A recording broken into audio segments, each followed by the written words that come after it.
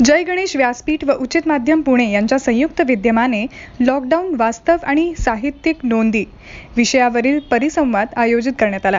सोबतच कोरोना काळात मदतीचा हात देणाऱ्या सेवावृत्तींचा कृतज्ञता सन्मान देखील डॉक्टर सबनीस यांच्या हस्ते करण्यात आला. यावेळी प्राध्यापक डॉक्टर संजय चोरडिया पियुष शहा किरण सोनीवाल विक्रांत मोहिते भाऊ थोरात रवींद्र भुजबळ मयूर पोटे विशाल ओव्हळ विशाल उभाळ आदी उपस्थित होते. वेदशास्त्र उत्तेजक सभागृहात झालेल्या परिसंवादात वैभव वाघ लॉकडाऊनमधील सामाजिक संस्थांचे कार्य वैद्य हरीश पाटणकर वैद्यकीय सेवा अनुभव डॉक्टर पद्मश्री पाटील लॉकडाऊनमधील ताणतणाव आणि समुपदेशन पराग पोतदार लॉकडाऊनमधील सकारात्मक गोष्टी महेश सूर्यवंशी लॉकडाऊनमधील गणेश मंडळाचे कार्य ज्ञानेश्वर जाधवर लॉकडाऊन साहित्यिक नोंदी आपली मनोगते मांडली.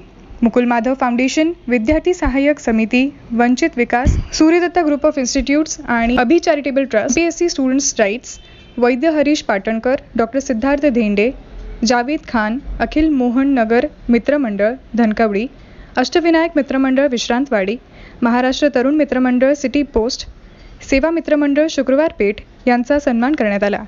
वास्तव पाहणं आणि ते संबंध वाचून पुन्हा अनुभवात नवीन नवीन अशा प्रकारचं शहाणपणाची सूत्र पचवणं एक वेगळी प्रक्रिया आहे. संस्कृतीच्या विकासामध्ये वाचन प्रक्रियेचं विशेषतः प्रगल्भ साहित्यकृतीचं आकलन करणं ही एक अत्यंत महत्त्वाची बाब आहे.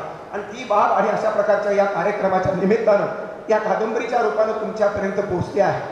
महाराष्ट्रातला निदान माझ्या माहितीतला हा पहिला वैशिष्ट्यपूर्ण वेगळा कार्यक्रम.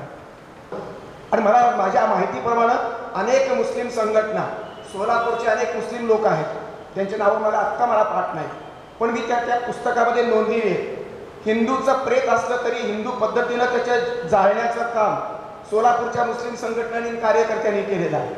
दिल्लीच्या मुस्लिम संघटनाने केलेलं आहे. अनेकांचं मी पुण्यनगरीचे जे रविवारचे लेख येतात त्याच्यामध्ये त्यांचा मी उल्लेख केला.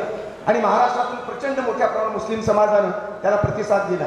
जावेद भाईचं काम मी इतर माणसांच्या कामाची तुलना न करता स्वतंत्रपणानं मी वंदनीय करतो त्याला मी प्रणाम करतो जावेद भाईच्या कामात कोरोनाचं प्रेत जाळणं धर्म बाजूला ठेवून कोरोनाचं कोणाचंही माणसाचं प्रेत जाळणं आणि त्याला मुक्ती देणं यासारखं पवित्र काम दुसरं कोणतं असू शकत नाही. इस्लाम जर हे शिकवणार असेल तर इस्लामचा विजय असो म्हणणारा मी माणूस आहे.